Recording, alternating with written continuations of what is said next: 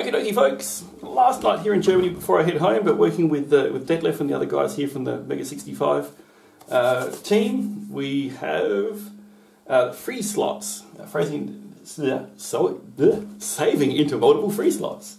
Uh, so we can hit restore there, and it'll think for a bit, brings up the freeze menu. I think a number of people have already seen this. We have the little pictures there, and I can use the cursor keys to move between different ones that we've already saved.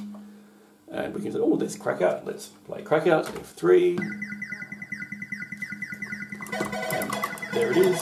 Good. So it's going nicely, and then we can freeze that again. It takes a couple of seconds to uh, come back to the freeze menu, that's fine. And now we can go through, we can find something different. There's Impossible Mission. Let's uh, load that up.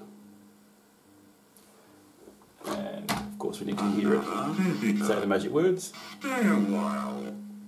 Stay forever.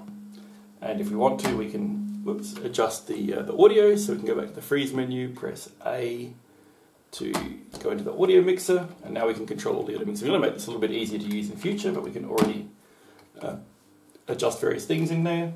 And life is getting really quite nice and, uh, uh, and fun to use on the Mega 65. So until next time, we'll catch this around. See ya! Bye bye.